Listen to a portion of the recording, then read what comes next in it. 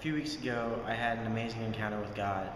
I went to a friend's house and I was parking my car in the parking lot and I have to walk all the way around to get to the door to type in the code to get in. And as I was walking, I came across this lady in a wheelchair walking her dog.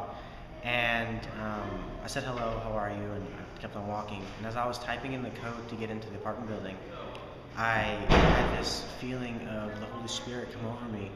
And um, I heard the words, go back and pray for her.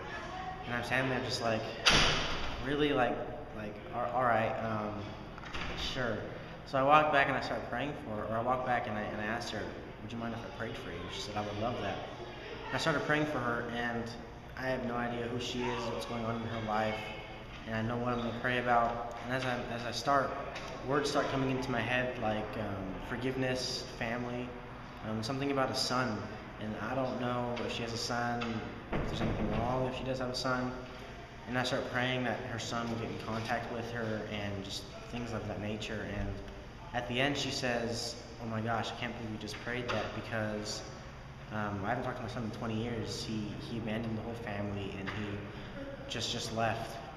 And it was just a big, just like like oh my gosh moment. And I went back a few weeks later to my friend's house and I saw the lady walking her dog again and she comes up to me and says, um, a couple weeks ago I just had lunch with my son for the first time in 20 years. And the fact that I was part of that was really big. That God chose me, God chose to speak through me to her was a really big, really big moment.